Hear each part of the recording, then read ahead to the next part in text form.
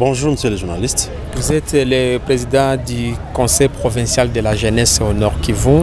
Nous avons le réel plaisir de vous recevoir en exclusivité sur Congo Live pour parler de cette question liée à la sécurité. Il faut rappeler que le président Tshisekedi a eu un tête-à-tête hier avec le président rwandais euh, au niveau de, l'Angola où ils ont parlé de la question liée à la sécurité. Plusieurs résolutions ont été prises, notamment par rapport à ce qui se passe entre les M23 et les FRDC. Vous, personnellement, en tant que président de la jeunesse, vous êtes à la tête, vous dirigez les jeunes ici au Nord Kivu. Comment d'abord vous avez analysé ce- cette rencontre entre Tshisekedi et Kabila Et disons Tshisekedi et Kagame? Oui, eh bien, la rencontre entre le président, notre président de la République son Excellence Félix Tshisekedi, avec euh, bien sûr euh, son homologue rwandais euh, en Angola, euh, pour moi, je, constate tout simplement que notre président de la République continue à faire preuve de la nature de l'homme congolais. C'est-à-dire les Congolais, de par leur nature, ce sont des, citoyens animés d'une hospitalité légendaire, mais également d'une largesse d'esprit, mais également l'ouverture au dialogue. Et toutes les fois que nous avons des problèmes, de par nos, cultures, euh, nos, coutumes, nos us et coutumes, nous avons toujours envisagé et privilégié les voies euh, pacifiques, entre autres les dialogues. Parce que, disait Nelson Mandela, même un ennemi peut- devenir un ami, il suffit de l'approcher. Voilà pourquoi je salue à juste valeur cette énième hum, flexibilité de notre président de la République qui a accepté de rencontrer son homologue rwandais qui, déclare, ne, pas être au Congo ne pas soutenir les, mouvements terroristes M23, mais qui acceptent tout de même de porter leurs euh, leurs, euh, revendications et aller les défendre, n'est-ce pas, en Angola, à Luanda. Nous estimons que, sincèrement, euh, c'est encore une preuve de, l'hypocrisie qui caractérise certains euh, hommes politiques de cette région, certains chefs d'État, entre autres celui du Rwanda. Nous nous trouvons aberrants. Et je dois vous dire qu'au nom de toute la jeunesse, non seulement je désapprouve cette démarche qui est caractérisée par de l'hypocrisie et, le manque de sincérité et, qui occasionne des catastrophes terribles, notamment humanitaires, et, plusieurs personnes tuées la chosification même de l'homme, de, l'humain, nous estimons que euh, ça en est trop. Ça en est trop et si tout ne dépendait que de moi, je demanderais au chef de l'État de ne plus accepter euh, de pourparler. Mais j'estime tout de même que l'homme est changeant. Il faut toujours donner une seconde chance à celui qui se dit disposé quand même à écouter. Mais nous pensons qu'il est maintenant clair et bien établi aux yeux de l'humanité, du monde entier, que ce n'est pas vrai lorsque le régime rwandais dit ne pas être sur le sol congolais en train de soutenir les mouvements terroristes. C'est clair et sans débat l'acceptation d'aller porter les revendications de ces mouvements terroristes euh, euh, en Angola est une preuve qu'on a des acquaintances et qu'on a des intérêts. Et je l'ai toujours dit, ce qui se passe dans notre pays, c'est aussi une guerre économique.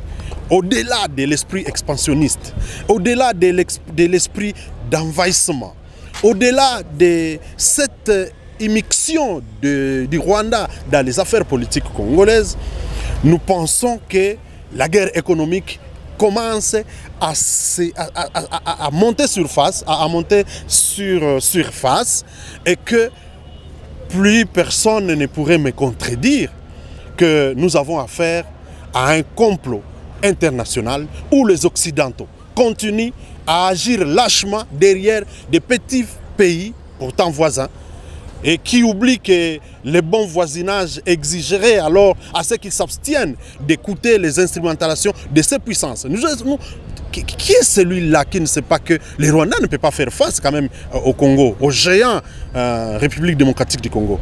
Nous savons que nous ne faisons pas la guerre avec les Rwandais, non. Non plus avec les mouvements euh, djihadistes, les mouvements, notamment les, les ADF, notamment les groupes terroristes M23.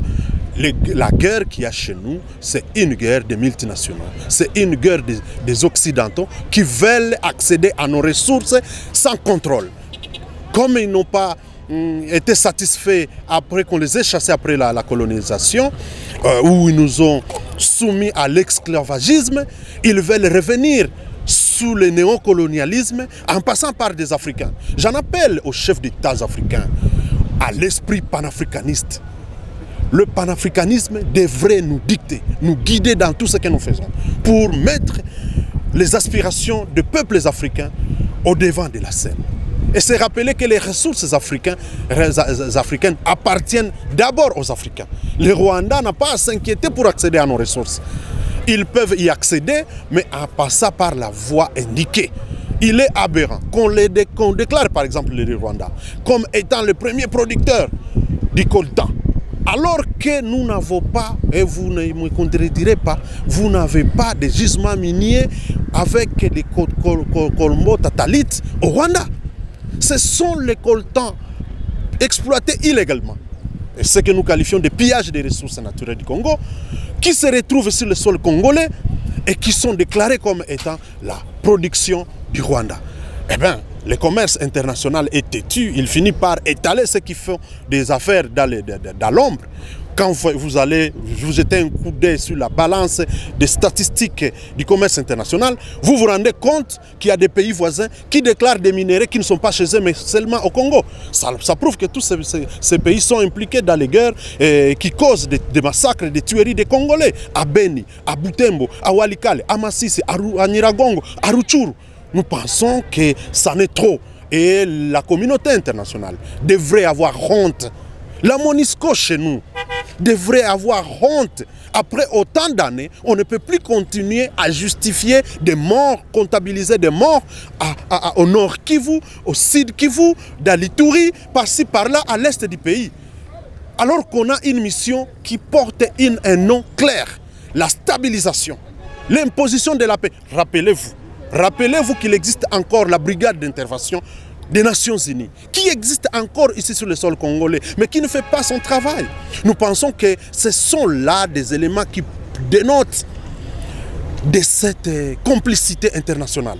Nous pensons qu'il est temps que les Congolais ouvrent l'œil et le pont et qu'ils découvrent réellement qui sont ses amis et qui ne le sont pas. Mais également, c'est pour nous, et personnellement comme président de la jeunesse, de lancer un appel aux Congolais et aux jeunes. Ils doivent s'abstenir de toute sollicitation qui les appellerait à rejoindre les groupes armés. Encore moins les groupes déclarés, n'est-ce pas, terroristes. Le mouvement terroriste, il est condamné, prohibé sur l'humanité, sur le territoire du monde entier. Nous estimons que cet acte ne, ne pourrait que tourner contre eux s'il y en a qui veulent adhérer à ce mouvement terroriste. Nous savons qu'ils sont euh, en difficulté, ils n'ont plus d'éléments et qu'ils veulent les recruter par-ci par-là, peut-être dans des universités, en, promettant de donner de l'emploi, à donner, parce que justement le manque d'emploi fait partie des, éléments moteurs qui, qui poussent les jeunes à accepter toutes ces sollicitations. Mais nous pensons que notre dignité va au-delà de tout cela. Même si nous n'avons pas d'emploi, il faille que nous nous rappelions que notre Congo nous appartient et nous qui, qui vivons, qui respirons encore aujourd'hui, nous avons ce devoir sacro-saint de veiller à ce que ces pays soient préservés et protégés dans son intégralité euh, territoriale, politique, administrative et juridique. Cela étant, nous devons nous battre pour euh, léguer ces pays à des générations à venir. C'est un devoir, c'est une obligation pour nous tous et nous pensons que, comme le dit notre constitution à l'article euh, 63, nous avons tous le devoir de tenir à l'échec quiconque voudrait, n'est-ce pas, mettre à genoux notre pays. Alors, Président, il faut euh, préciser qu'en dépit de toutes les faits des routes qui ont été prises hier à, l'issue de ce mini-sommet de Luanda, nous avons appris en tout cas que euh, le mouvement terroriste M23 a repris les hostilités dans les retours ce matin. Vous, en tant que fils de cette province, comment vous analysez cela? Qu'est réellement les M23 et ses alliés? Bon, ce qui se passe maintenant entre les, les, les, les M23 et ses alliés euh, s'expliquerait mieux pour euh, ceux qui sont informés sur des stratégies de guerre. Lorsque vous faites un combat politique, vous devez vous rassurer qu'il y a la diplomatie qui accompagne. Vous devez également vous assurer que vous présentez une menace sur le terrain. Et vous voyez cette acquaintance. Comment comprenez-vous que lorsque justement le président rwandais accepte d'aller en, en pourparler avec notre président euh, congolais en Angola. Et qu'au même moment, il y ait reprise des hostilités sur terrain. Ça s'appelle monter des enchères. Voilà tout. Voilà tout ce qu'il faut comprendre. Ça s'appelle monter des enchères pour, pour, pour, négocier en position de force. Pour que notre président de la République euh, soit en position, euh, n'est-ce pas, de faiblesse. Comme c'est sous pression. Sous pression, le mettre justement sous pression. Et nous pensons qu'il qu continue à faire preuve euh, de la ténacité. Nous pensons que ce sont des choses, des jets que nous avons déjà découverts et qu'il ne faut pas nous décourager. Ce qui se passe là-bas est une preuve au contraire qu'il y a cette, ce mariage entre le régime actuel euh, au Rwanda et ce mouvement terroriste. Et nous pensons que euh, toutes les personnes épris de paix, toutes les personnes épris de ce sens human, humaniste doivent tenir en échec ce qui se passe à Rutshuru. Il faut donc décourager cela. C'est ici pour moi d'ailleurs de récuser toutes ces communautés régionales qui euh, ne font qu'appeler à des, à des dialogues, mais qui n'apportent pas de solutions idoines. Comment pouvez-vous comprendre que les Rwanda et la RDC, mon pays, sont tous membres de l'Union africaine sont également membres de la CIRGL, sont membres de East Africa Community, communauté est-africaine, oui. sont également membres de la CPGL. Figurez-vous, autant de communautés qui obligent à ces pays de vivre comme en, tant que frères, n'est-ce pas? De, développer des relations de fraternité, d'amitié, de collaboration et d'exploitation de leurs ressources en, en toute fraternité. Comment pouvez-vous comprendre qu'ils continuent à se faire des guerres alors qu'ils ont ces instances politiques et techniques pour résoudre les problèmes? Aujourd'hui, il existe même un bureau du mécanisme conjoint de vérification sur ce qui se passe dans la région. Mais ça n'empêche pas les Rwandais à soutenir le, le, le M23. Nous pensons que toutes ces communautés présentent une faiblesse notoire, celle de ne pas avoir une, force contraignante contre tout membre de ces communautés qui qui, qui, qui, qui, vont à la contre de leur, de, de, de, des principes de de leur communauté. Il est aberrant que, que, fils d'une même, famille se fassent des guerres sans que les parents ne puissent sanctionner. Alors le président de l'Union africaine doit se remettre en cause. Le président de, en exercice de East Africa Community, je parle du président kenyan, il doit se remettre en cause. Le président euh, de, de, la, de, de la de la CPGL, tous doivent se remettre en cause lorsqu'il y a des guerres dans la région des Grands Lacs, que ce soit au nord Kivu, au sud Kivu, dans le Rwanda, dans l'Ouganda, ils doivent se remettre en cause. C'est une preuve qu'ils ne sont pas à la hauteur de leur tâche. Ils doivent éviter de nous distraire et continuer à se contenter de comptabiliser des morts. Aujourd'hui, les politiques de la région des Grands Lacs vivent, vivent sous le sang des Congolais, malheureusement nous pensons que tous doivent travailler et œuvrer pour anéantir à la fois les forces négatives, mais également les, groupes armés qui pilent encore dans la région. Peut-être avant la dernière question, Président, on sait que vous êtes le président de la jeunesse donc, de ces jeunes du Nord qui vont, et ça fait plusieurs jours qu'il y a certains Congolais en tout cas qui réclament et qui demandent au chef de l'État Tshisekedi de déclarer directement la guerre au Rwanda et la plupart de ceux qui demandent cela, ce sont des jeunes. C'est quoi votre position en tant que président des jeunes? Eh, Vous savez, sincèrement, je dois vous dire, s'il y a des gens qui pensent comme ça, moi je partage euh, leur avis quelque part. En tout cas, il faut savoir que toute chose a ses limites. Toute chose a une limite. Même la patience, elle a sa limite. Ce n'est pas normal qu'on continue à nous faire la guerre et que nous, on ne fasse rien. Je suis sûr d'une chose. Le Rwanda, bien qu'on peut le vanter, je ne sais comment, le Rwanda n'est pas capable d'engager une guerre à la fois au nord Kivu, au sud Kivu et je ne sais moi où. Du moment qu'on nous fait, qu'on nous impose la guerre, il faut que nous aussi, on comprenne qu'on a ces droits de, légitime défense. Nous avons donc, en vertu de notre souveraineté, le droit de nous défendre. Le, roi belge était de passage sur- sur le territoire congolais. Il a dit clairement qu'il était disposé à accompagner la RDC si elle juge nécessaire, disait de sa, euh, de sa souveraineté en s'autodéfendant. Nous pensons que ce que nous nous faisons, c'est de la légitime défense et personne ne peut nous condamner pour cela. Si on doit demander le cessez-le-feu, ce n'est pas à la RDC. Ce n'est pas à la RDC. Nous, nous avons le devoir de nous défendre. C'est une obligation même. Et au contraire, on devrait demander au Rwanda de cesser conformément aux dispositions de l'accord cadre d'Addis Abeba qui exige aux États partis, n'est-ce pas, autres que la RDC, de ne pas prêter main forte aux groupes terroristes, ni aux groupes armés, ni aux rebelles, mais également de ne pas leur accorder asile. Aujourd'hui, tous les rebelles, leurs euh, euh, dirigeants politiques sont au Rwanda et d'autres en Ouganda. Ça, ça, ça, ça, augure quoi?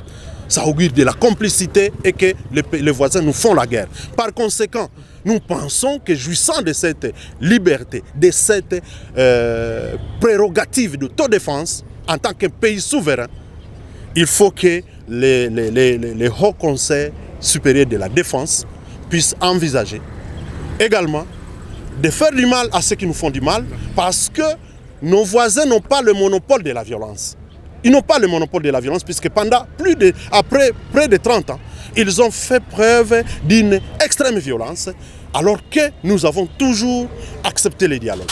Il faille que nous aussi, on envisage également faire expression d'une certaine violence pour qu'ils soient à même de comprendre le mal qu'ils nous infligent et les, les- les- les- les conséquences que ça fait sur les Congolais. Dernière, question, Président. Euh, il faut signaler qu'il y a eu changement euh, à la tête du commandement dans les opérations, précisément dans les Rutshuru. Et qu'est-ce qu'on peut espérer, selon vous euh, Est-ce qu'on peut espérer aux avancées significatives à l'issue de ces changements à la tête du commandement des opérations dans les Rutshuru Bon, les changements à la tête de- du commandement, commandement des opérations dans les Rutshuru, j'ose croire que ceux qui l'ont fait, l'ont fait de manière éclairée.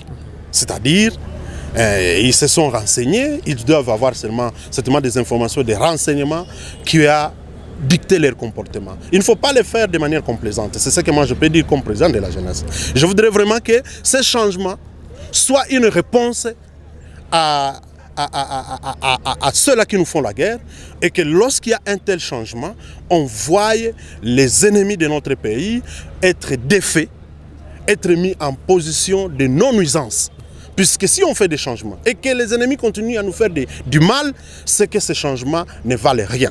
Ces changements, pour moi, à mes yeux, ne sera utile, salutaire, seulement si nous sentons et que nous voyons des changements sur terrain. C'est ça ce que nous pensons. Et nous pensons également que c'est ici l'occasion d'admettre et de saluer la bravoure de nos, de nos forces loyalistes. Aujourd'hui, celui qui, qui, qui qui vient d'être mis euh, c'est- c'est, euh, à la tête des opérations, vous n'oublierez pas qu'il a été commandant euh, dans cette zone. Il connaît la région, il, il- il connaît ses troupes et nous pensons qu'il peut nous apporter des solutions. Et c'est ici, pour moi, pour terminer, l'occasion de lancer un appel pathétique. Alors pathétique à tous les Congolais, pas seulement aux jeunes, pas seulement aux jeunes de ou du Nord qui vous, mais tous les jeunes de la RDC, toute la population congolaise qui a d'ailleurs prouvé ce sens élevé du, du nationalisme, ce sens élevé du patriotisme qui se trouve malade lorsque ça ne va pas euh, dans un coin du pays. Nous saluons et nous remercions cette solidarité, cette, compassion des, autres Congolais d'ailleurs, des 25 provinces autres, mais nous pensons que c'est l'occasion de soutenir sans, relâche, encore davantage nos forces loyalistes, les commandants suprêmes des, des, FARDC et tous les chaînes de commandement pour nous amener au plein succès et au bien-être des Congolais parce qu'il est de notre devoir de nous défendre et personne ne peut nous renier ces droits parce que nous sommes un pays souverain. Merci beaucoup Guy Kubera de nous avoir accordé cet entretien. C'est moi qui vous remercie.